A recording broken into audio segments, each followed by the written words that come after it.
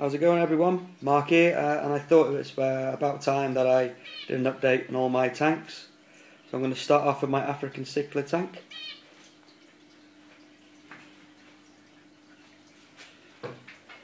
As most of you know, um, most of the Mbuna in here are wild caught and I've added extra rocks and you can see there's some nice algae growing on top. It's a bit brown at the moment but it should turn green I'm leaving the lights on for around about 12, 14 hours a day, uh, trying to encourage the algae to grow a bit quicker. Uh, I've had some breeding action. Uh, my Metriaclima Patrickii jalo Reef have bred, so I've got one holding female. And she is there, she's holding. She's just gone behind the rock. They are doing really, really well.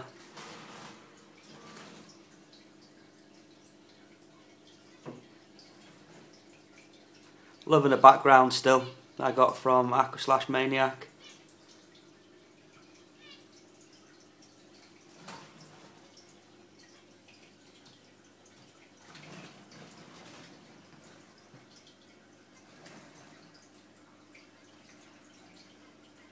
Some of the rocks uh, are from my previous aquascape so they are a bit light at the moment but hopefully once like like I mentioned before once the algae starts growing on top of them um, they'll get a bit darker. Hopefully I want them to go green so the, the Mbuna will graze more on the algae so I can cut back on feeding them just a once uh, a day. You'll see hopefully uh, in, in this video some of them will try and graze on the brown stuff. do apologise about the finches in the background. There's another four chicks in the nest so they're a bit noisy, sorry.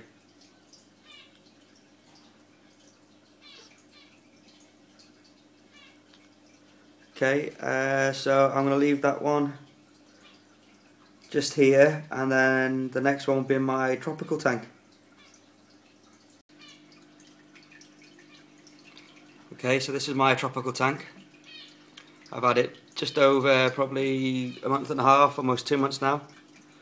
And I've today I've just done um, a massive new aquascape. Basically I, I, had a really big problem with ram's horn uh, snails so I had to strip the whole tank back and uh, try and get as much of the snails out as, as I can and that gave me opportunity to cut back loads of the plants and replant everything. I've moved the wood round, done the rocks again uh, and I also found tons and tons of baby platies um, I am still going to move them on. I know someone who's got some wild blue rams, so I'm going to get a pair hopefully, and they should fit in quite nicely to this tank. So I'll give you some close-ups.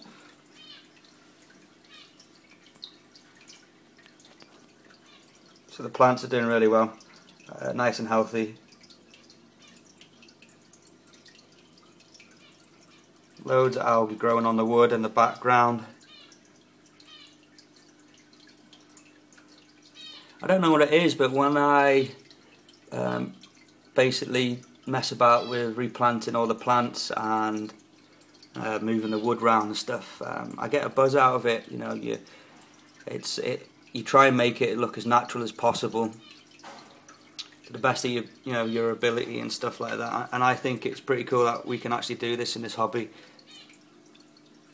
So leave us a comment, you know, let us know what you, you think about it. You know, when you're doing aquascaping, how long does it take you to do it? Do you do it often or, you know, you just leave it if the fish are happy or are you one of those people that like to do as much aquascaping as, as possible? So still loving the tropical tank. Um, like I said before, I'm going to get some blue rams, swap out the uh, the platies because there's just so many of them. Um, can't really see them in this video, but they're all hiding.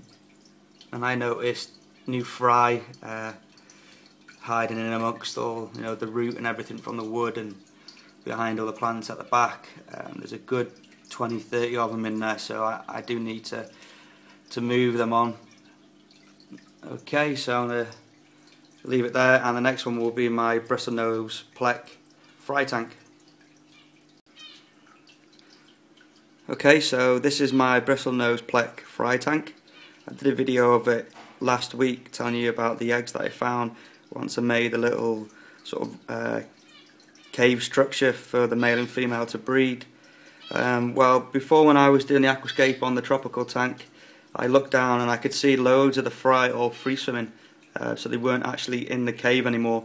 I don't know if it was because the male wasn't doing its job or something like that. So I decided to take the top off very uh, slowly and gently, obviously not to disturb uh, the male looking after the fry. And there was one fry left, so I took out some of the rocks that were holding this top piece here um, so I could actually see or try and count how many fries are around in the tank and there's quite a lot uh, I reckon about 30 probably 35 little fry or something about um, so what I've done I've just put some cucumber in the in the tank just in case you know they are hungry because you know the fries still have got a bit of an egg sac on them. So I'm guessing you know they'll be probably hungry in a, in a few days.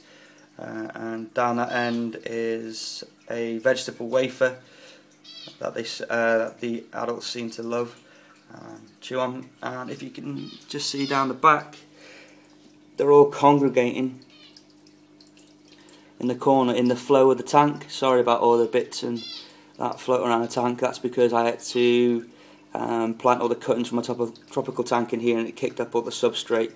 Um, and I've left it a good few hours trying to get it all clear but um, the the internal filter isn't really picking up all the particles so I'm going to add some filter um, padding inside and you know from a new pillow and see if that will help it out so you can see loads there still with the big egg belly and then if you come round here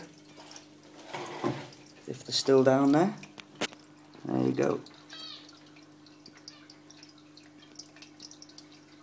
loads of them down there. So I'm not 100% sure why um, they're not in the actual cave system anymore. Obviously, I, I took it all apart because I, I thought the male had booted them out or something like that, or one went out and they all followed, or I'm not sure. Um, but they seem to be okay. They're all grouping together in the flow of the tank and doing great.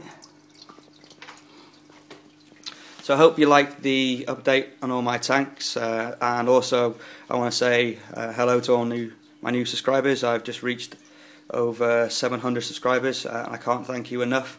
I never thought I would get so many um, and I do apologise about not being able to answer all your questions that you guys will be sending me but don't worry I'm getting around to that. I will be doing a question uh, and answer video. I don't know if it will be up tonight, if not it'll be up tomorrow. Uh, so bear with me, you know, I'm quite busy as well. I, I, have family commitments and work commitments and other stuff that I'm dealing with at the moment.